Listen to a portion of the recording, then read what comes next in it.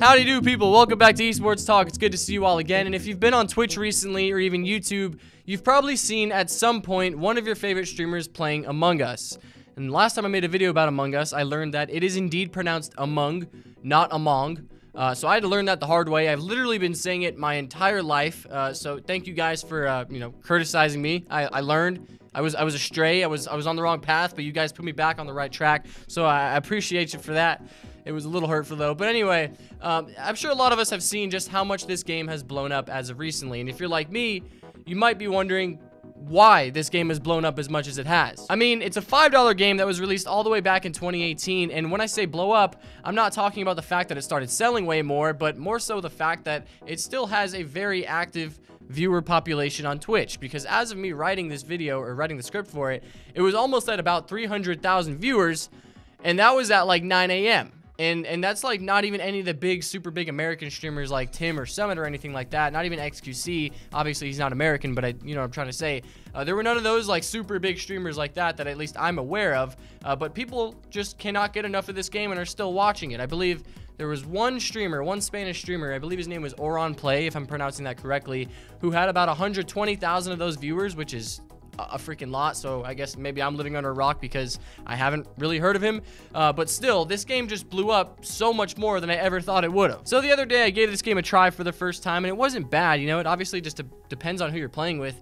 Um, but I would say that the $5 price point is generally pretty appropriate. And I don't mean that in a bad way because it's definitely not a bad game. I would just say that there's just not enough variation for me personally. But in playing it, I was just trying to figure out why this game had blown up so much and why it's still going so strong. And uh, I'm just going to show you guys a clip because Shroud sums it up pretty well in just a few short sentences. That game was like pretty fun. I didn't like particularly love it, but I thought it was pretty fun. You have to have the right people. And that's kind of how I feel about it too, but I think his answer also kind of tells us why it blew up so much because he says you need to play with the right people and that's how you make it fun. So if you're playing with the right people, you're also going to be making the game fun to watch. So if you've got an Among Us lobby with just a bunch of good streamers and a bunch of good personalities, that is you playing with and watching the right people. This game just kind of needed to catch the wind of a bunch of big streamers so that way it could kind of end up to where the success it has ended up as nowadays. And that's another aspect about it too is the fact that this game can hold up to 10 people in one lobby, which just makes it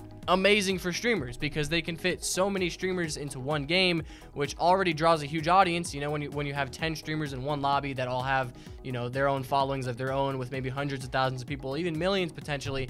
And obviously, yeah, that doesn't mean that 100,000 people are going to be watching each streamer, but still that's a lot of big streamers and that's a lot of you know viewership that you can be drawing from several different spots especially when you compare this to a game like Fall Guys where it is a free-for-all game so there's less you know overall collusion and streamers working together but also they are limited with how many people can play in the same lobby and it's not so much that they're directly playing against each other but they're playing against a bunch of other people so it doesn't feel as competitive and as direct. And you know speaking of Fall Guys that game kind of fell off, and Among Us kind of just walked up and took its place. Fall Guys is, of course, you know, a more casual party type game with a level of competitiveness to it, and then that's sort of what Among Us is too, a casual party type game with a level of competitiveness to it, as we've seen before with XQC and how tilted he can get at the game. But in that aspect, this game kind of just took Fall Guys' mantle and has been holding up surprisingly strong. I also find it strange how this game was released over two years ago and is just now finally popping off. I think it was XQC and Sodapoppin who kind of started the trend, and then a bunch of other big streamers started hopping on, and that, of course, got the game to where it's at today. But just over three months ago, this game had virtually no viewership on Twitch, probably had a lot less sales as well.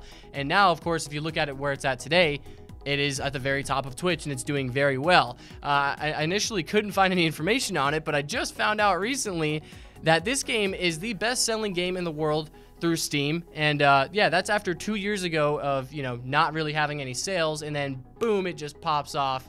And uh, I guess that's what you get for making your game $5. Very easy to access. And that's what you get also for uh, having a bunch of big streamers playing your game. So the developers are probably very happy right now. Um, but yeah, what are you guys' thoughts on this game? Do you think that this game is going to fall off as quickly as Fall Guys did? Or do you think it's going to stick around a bit longer? I'd love to hear what you guys have to say. And of course, uh, I'll see you all very soon. Take it easy. Be safe. See you guys next time. Bye-bye.